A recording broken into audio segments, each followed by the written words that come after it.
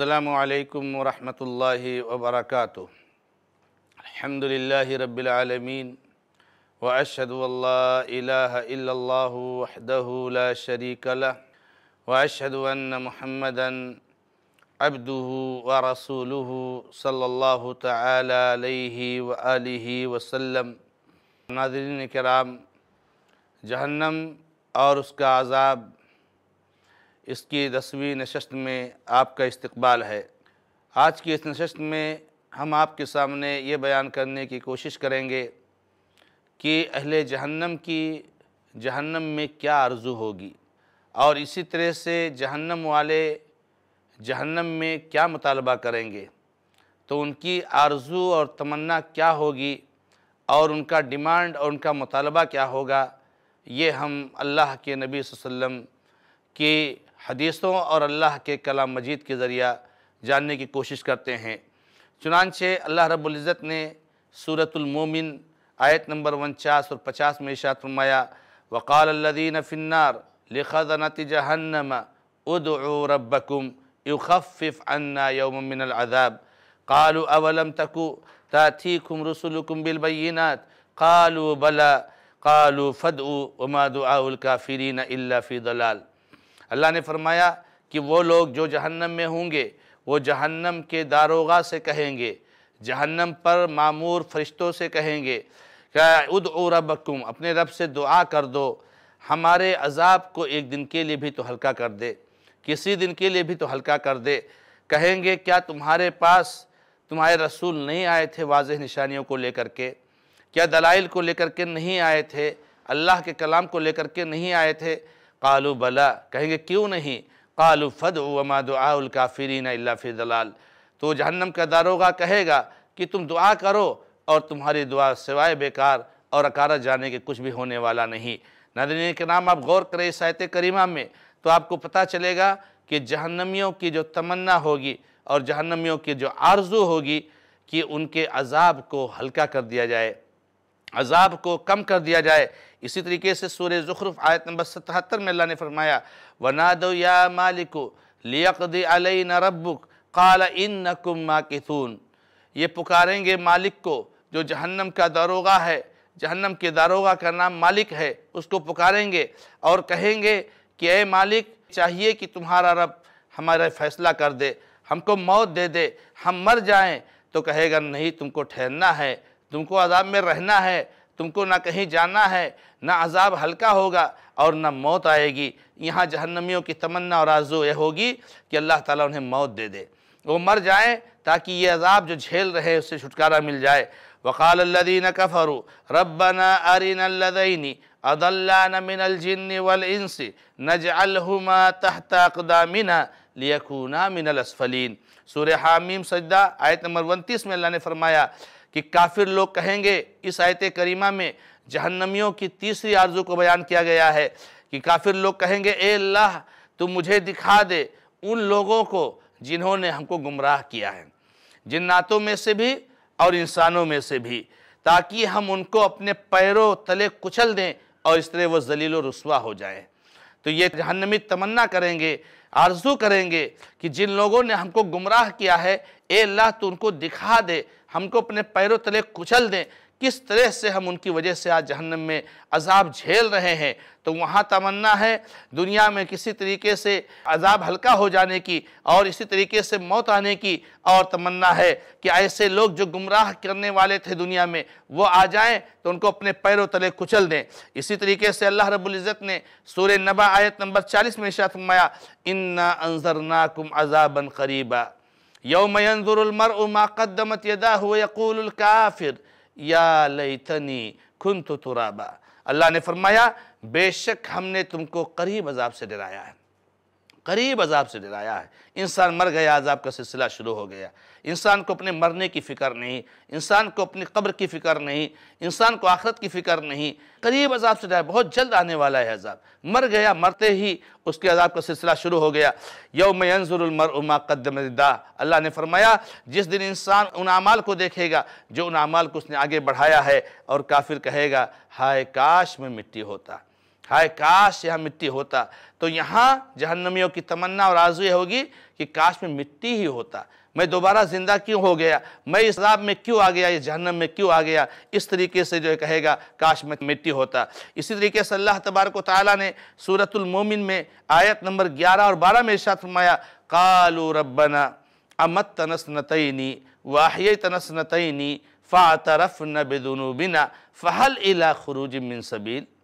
ذالکم بانہم اذا دوئی اللہ وحدہ کفرتم ویشرک به تؤمنوا فالحکم للہ العلی الکبیر اللہ نے فرمایا، وہ کہیں گے، اے ہمارے رب، تو نے ہمیں دو بار موت دی، تو نے ہمیں دو بار زندہ کیا، تو ہم نے اپنے گناہوں کا اعتراف کر لیا ہے، ہم نے مان لیا ہے، ہم نے اقرار کر لیا ہے، ہم سے غلطی ہوئی۔ فہل الى خروج من سبیل کیا اللہ نکلنے کا کوئی راستہ ہے؟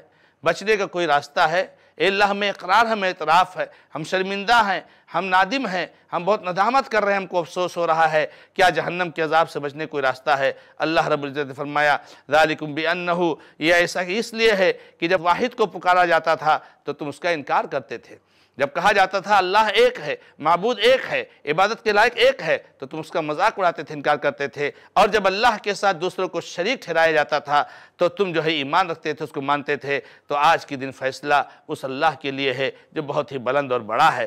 اللہ رب العزت نے سورہ معارج آیت نمبر گیارہ سے لے کے سولہ تک اشارت فرمایا، یود المجرم لو یفتدی من عذاب یوم ایدن ببنیہ وصاحبته واخيه وفصيلته التي تويه ومن في الأرض جميعا ثم ينجيه كلا إنها لزا نزاعة للشوا اللہ نے یہاں پر جہنمیوں کی ایک تمنا اور آرزو کو مزید بیان کیا ہے۔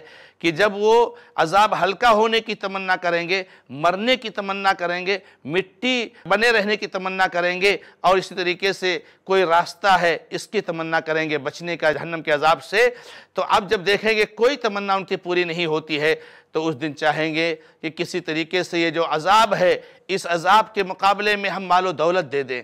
ہم پراپرٹی دے دیں ہم جائیداد دے دیں اور ہم بچ جائیں۔ چنانچہ اللہ نے فرمایا، یود المجرم لو یفتدی من عذاب یوم دن ببنی اس دن مجرم چاہے گا، کاش کہ وہ عذاب کے بدلے میں دے دے اپنے بیٹوں کو، اپنی بیوی کو، اپنے بھائی کو، اپنے خاندان کو اور زمین میں موجود سارے لوگوں کو۔ زمین میں موجود سارے لوگوں کو ساری پراپرٹی اور جائیداد کو دے دے اس عذاب کے بدلے میں تاکہ وہ چھوٹ جائے اور اس سے نجات پا جائے۔ اللہ تبارک و تعالیٰ نے فرمایا، کھلا انہا لذا، ہرگز نہیں، یہ تو بھڑکتی ہوئی آگ ہے، یہ تو چمڑیوں کو ادھیر دینے والی ہے۔ ناظرین کرام، یہاں پر ان کی تمنا یہ ہوگی کہ اب جب کوئی راستہ نہیں ہے بچنے کا اور مرنے کا راستہ نہیں ہے، تو کم سے کم اللہ تعالیٰ کچھ فدیہ لے لے، کچھ مال لے لے کچھ ہم سے ضمانت لے لے، کچھ ہم سے جرمانہ لے لے اور وہ لے کر کے اللہ تعالیٰ چھوڑ دے۔ اور کیا دینے کے لیے تیار ہو جائیں گے؟ اپنے قریب سے قریب تر، اپنی بیوی کو بھی دینے کے لیے تیار ہو جائیں گے، اپنے بیٹے کو بھی دینے کے لیے تیار ہو جائیں گے، اپنے بھائی کو بھی دینے کے تیار ہو جائیں گے۔ زمین کی ساری دولت اور ساری چیزوں کو دینے کے لیے تیار ہو جائیں گے، مگر اللہ تبارک و تعالیٰ کے عذاب سے ان کے لیے کوئی چھٹکارا نہیں ہوگا۔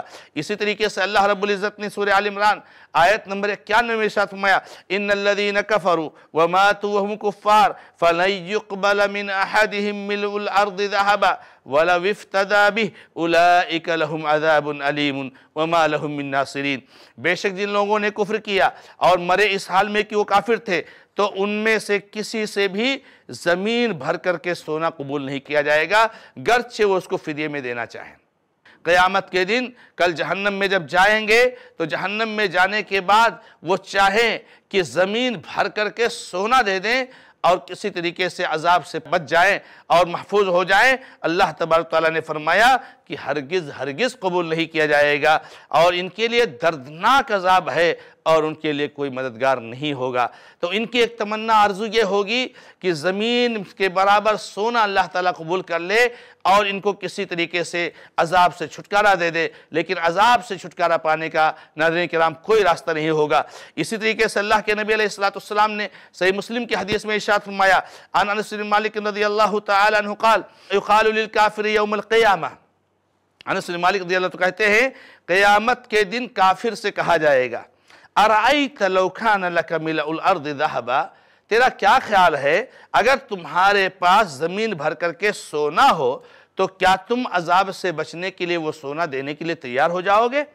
تو کہے گا ہاں یعنی زمین بھر کر سونا جہنم کے عذاب سے بچنے کے لیے دینا پڑے تو کافر دینے کے لیے تیار ہے تو اس سے کہا جائے گا کہ قد سئلت ایسر من ذالک۔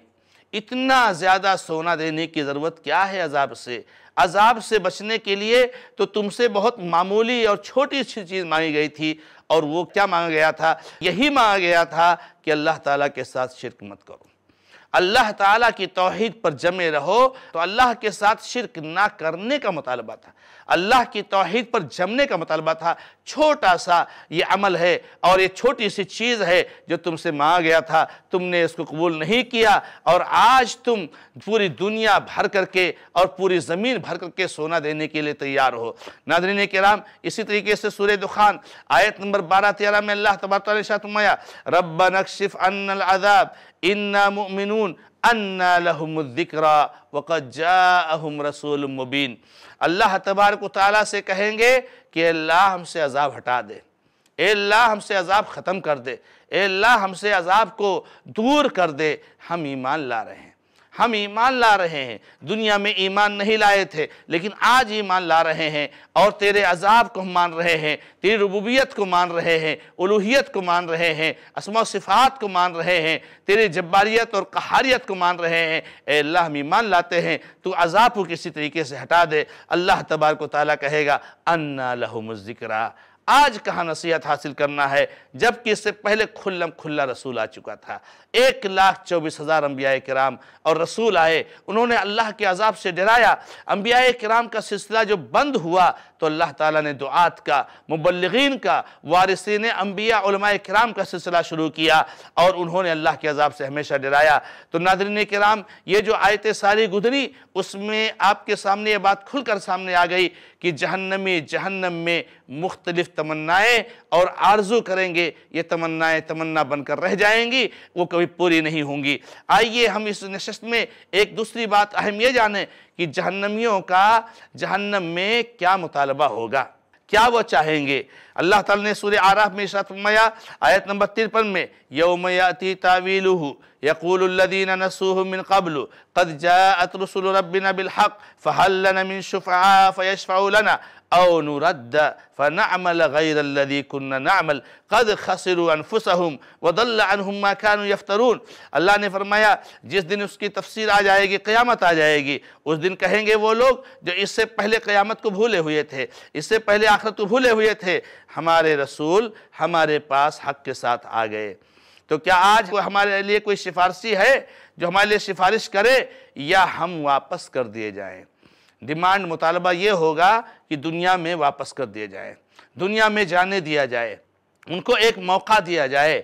اب وہ دنیا میں جانے کے بعد وہ اللہ تبارک و تعالیٰ کی توحید قبول کریں گے۔ تو یہ جہنمیوں کا مطالبہ ہوگا، ڈیمانڈ ہوگا اور بہت ساری آیتیں آپ کے سامنے آ رہی ہیں جن میں ان کے یہی مطالبہ ہوگا۔ لیکن ناظرین کرام، اس دنیا سے جو چلا جاتا ہے دوبارہ آ نہیں سکتا ہے۔ امی ورائہم برزخ الى یوم یبعثون، قیامت تک برزخی زندگی ہوتی ہے۔ قیامت کے بعد میدان محشر ہے، پھر اس کے بعد جنت اور جہنم کا فیصلہ ہے۔ دنیا میں دوبارہ آنا کسی کا ممکن نہیں ہے۔ اللہ رب العزت سورہ فاتر آیت نمبر سیتیس میں شاہد فرمایا، وَهُمْ يَسْتَرِخُونَ فِيهَا رَبَّنَا أَخْرِجْنَا نَعْمَلْ صَالِحًا غَيْرَ الَّذِي كُنَّ نَعْمَلْ۔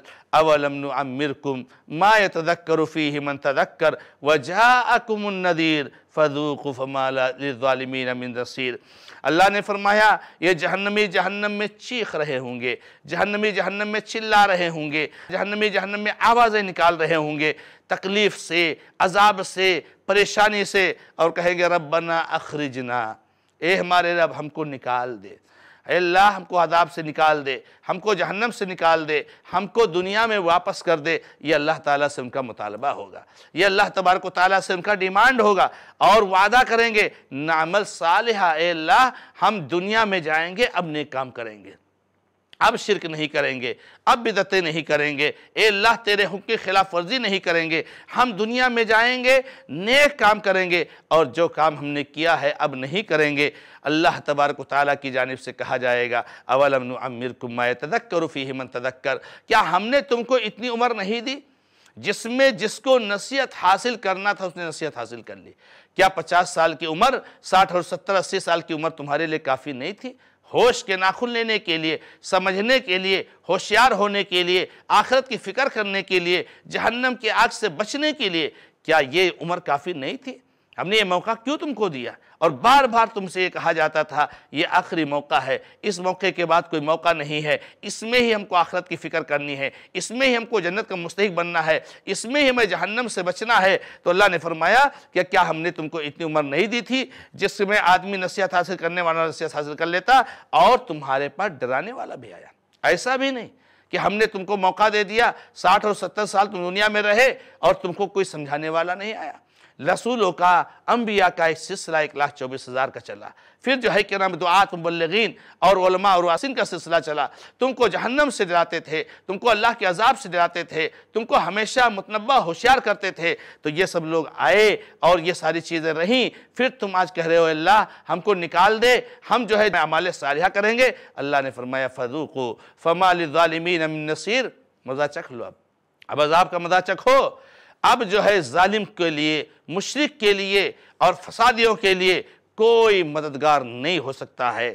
اسی طریقے سے ناظرین کرام، سورہ شعراء میں، آیت نمبر ایک سو دو میں اللہ تعالی نے ان کے بارے میں ذکر کیا، فَلَوْ أَنَّ لَنَا كَرَّةً فَأَكُونَ مِنَ الْمُؤْمِنِينَ۔ اگر ہمارے لیے دوبارہ دنیا میں جانا ہو تو ہم مومن ہو جائیں گے۔ یہاں بھی وہی مطالبہ، یہاں بھی وہی ڈیمانڈ کہ اللہ ہم کو دنیا میں دوبارہ بھیج دے، ہم کو دنیا میں دوبارہ واپس کر دے، ہم وہاں مومن ہو جائیں گے، ایمان لے آئیں گے۔ اسی طریقے سے اللہ تبارک و تعالیٰ نے دوسری آیتوں میں سورہ سجدہ میں بھی ارشاد فرمایا، وَلَوْ تَرَا اِذِ الْمُجْرِمُونَ نَاكِسُوا رُؤُوسِهِمْ عِنْدَ رَبِّهِمْ، رَبَّنَا أَبْصَرْنَا وَسَمِعْنَا فَارْجِعْنَا نَعْمَلْ صَالِحًا إِنَّا مُوقِنُونَ۔ سبحان اللہ ناظرین کرام، کتنا مؤثر اسلوب اللہ رب العزت نے اپنایا ہے کہ اللہ نے فرمایا، تم دیکھو گے اس وقت جب مجرم لوگ اپنے سر جھکائے کھڑے ہوں گے۔ مشرق لوگ، کافر لوگ، اللہ کے باغی اور فسادی لوگ اپنے سروں کو جھکائے کھڑے ہوں گے۔ آج کتنی طاقت ان کے پاس ہے اور کتنا ظلم اور زیادتی ان کے پاس ہے اور کتنا زیادہ ان کے پاس حق کی مخالفت ہے۔ اور کتنا زیادہ ان کے پاس جو ہے، کیا نام ہے، حق کے خلاف سازشیں کرنا ہے۔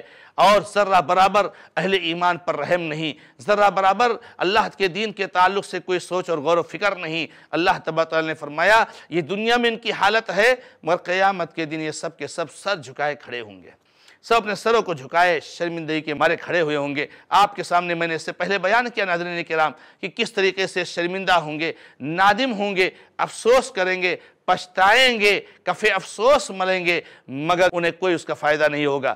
تو یہ سارے ظالم لوگ اور مجرم لوگ کھڑے ہوں گے۔ اللہ تعالیٰ کے سامنے کہیں گے رب بنا اب سرنا اے ہمارے رب، ہم نے دیکھ لیا۔ جہنم کو ہم نے اپنے آنکھوں سے دیکھ لیا ہے۔ جہنم کا عذاب ہم دیکھ رہے ہیں۔ ہم نے سمینا، ہم نے سن لیا۔ ہم نے ساری چیزیں سن لی، ہم نے ساری چیزیں دیکھ لی۔ فرجعنا، اے اللہ ہم کو واپس لوٹا دے۔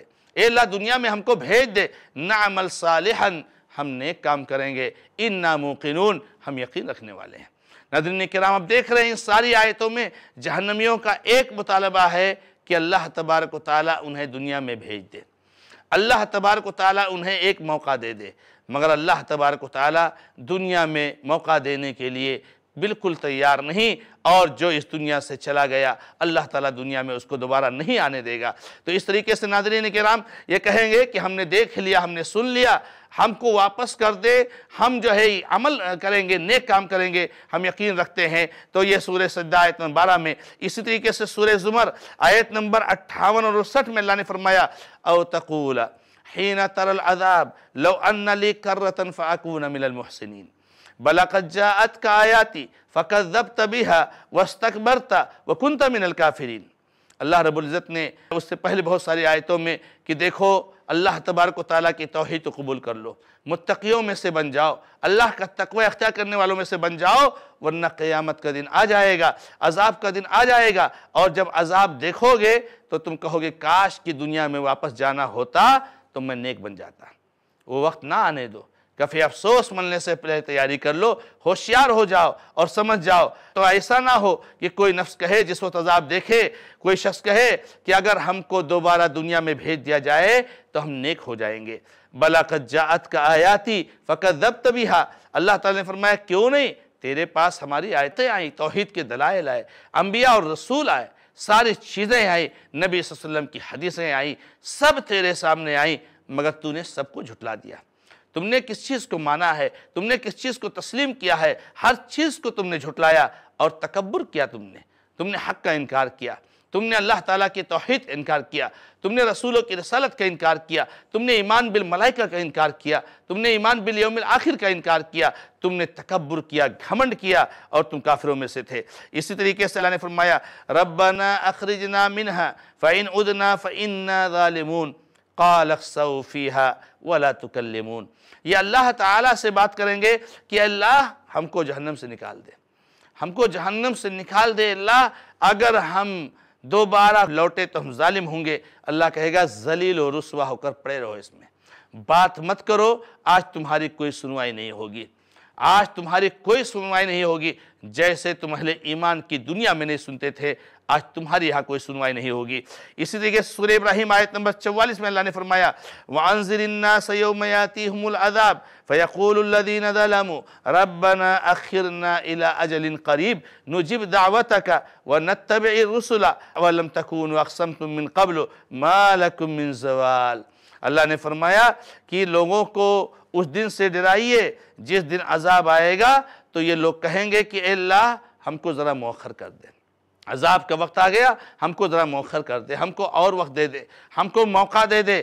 ہم تیری دعوت قبول کریں گے اور تیرے رسولوں کی اتباع اور پیروی کریں گے۔ یہاں بھی ان کا ڈیمانڈ اور مطالبہ یہی کہ اللہ ہم کو موقع دے دے۔ ہم کو تھوڑا چھوٹ دے دے، ہم کو مہلت دے دے، ہم کو وقت دے دے۔ اللہ تبارک و تعالیٰ کسی طریقے سے قبول کرنے والا نہیں ہے۔ سورة الانعام میں آیت نمبر ستائیس میں اللہ نے فرمایا، وَلَوْ تَرَا اِذُ قِفُوا عَلَى النَّارِ فَقَالُوا يَا لَيْتَنَا نُرَدُّ وَلَا نُكَذِّبَ بِآيَاتِ رَبِّنَا وَنَكُونَ مِنَ الْمُؤْمِنِينَ۔ ناظرین کرام، یہاں بھی وہی بات کہ جب جہنمیوں کو جہنم میں کھڑا کر دیا جائے گا جب سزاؤں میں کھڑا کر دیا جائے گا، عذاب میں کھڑا کر دیا جائے گا، تو کہیں گے، ہائے کاش ہم دنیا میں دوبارہ چلے گئے ہوتے۔ ایک موقع اور مل جاتا۔ وَلَا نُكَذِّبَ بِآيَاتِنَا۔ اور جب ہم جائیں گے دوبارہ دنیا میں، تو پھر ہم اللہ تبارک و تعالیٰ کی آیتوں کو نہیں جھٹلائیں گے اور ہم مومن بن جائیں گے۔ یہاں بھی مطالبہ وہی کہ ہائے کاش ہم دنیا میں لوٹا دیے جاتے، واپس کر دیے جاتے۔ سورہ شورہ میں آیت نمبر چوالیس میں اللہ نے فرمایا وَتَرَ الظَّالِمِينَ لَمَّا رَأُوا الْعَذَابَ يَقُولُونَ حَلِلَا مَرَدٍ مِّن سَبِيل۔ ظالموں کو دیکھیں گے، جب یہ عذاب دیکھیں گے تو کہیں گے، کیا کسی طرح سے واپسی کا راستہ ہے؟ تو ناظرین اکرام اس نشست میں ہم کو یہ معلوم ہوا کہ اہل جہنم کی تمنا عرضو کیا ہوگی اور ان کا ڈیمانڈ کیا ہوگا اور کچھ بھی قبول نہیں کیا جائے گا۔ اللہ تعالی ہماری حفاظت فرمائے۔ هذا ما عندي والله تعالى عالم۔ والحمد لله رب العالمين وصلى الله على محمد وسلم تسليما كثيرا.